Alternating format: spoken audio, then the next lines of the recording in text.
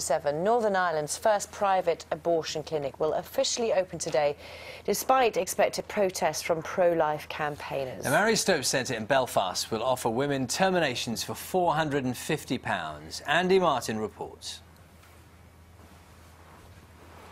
Every day, anti abortion groups picket the Family Planning Association offices in Belfast.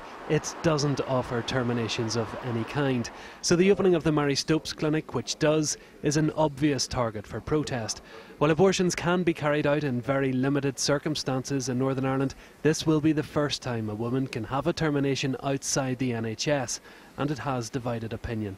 I just don't believe in abortion. I, am sorry because I once you're pregnant, I think you're, you, that's your baby, you know, and that's the way it is.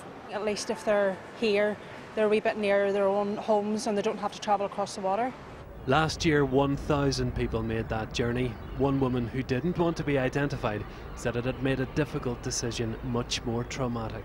It's a very heavy burden to carry.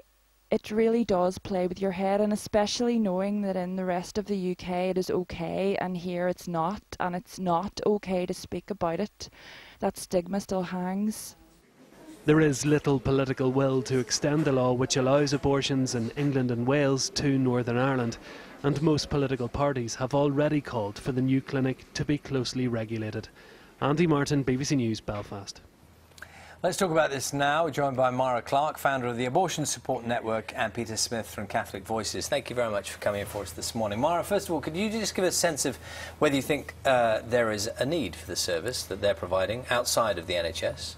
Um, there's absolutely a need for the extension of sexual and reproductive healthcare services to the women of Northern Ireland and, of course, Ireland as well. Um, abortion is very very seriously restricted in those places. And when women are faced with a crisis pregnancy, they very often have no idea where to turn. Um, I was in Derry a couple weeks ago and uh, was asked by a woman at a bed and breakfast what I do. And I told her, and she said, Oh my goodness, I wish I'd known about you because my neighbor's 15 year old has a 10 month old baby.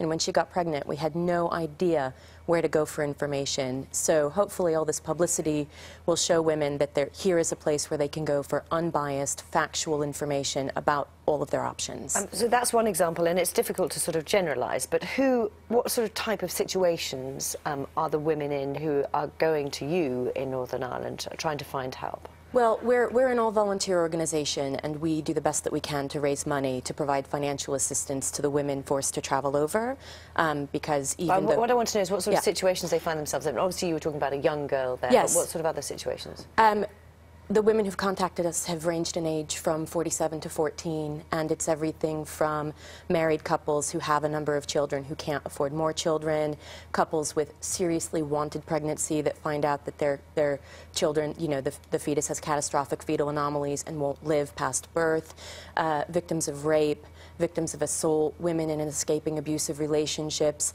But the thing that, the reason I made the point about the financial assistance is that all the women who contact us, what they have in common is that they're poor.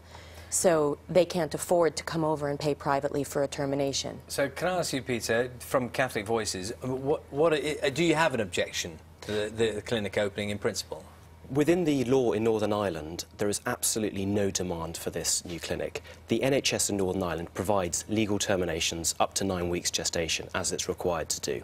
This is subtle policy making by Marie Stopes, who want to establish a fact on the ground in Northern Ireland that they can use to leverage and to liberalise the abortion law in Northern Ireland. But I suppose you can only know whether there's demand for it once it exists, and, if people go through their doors and require their services, then there must be a need there.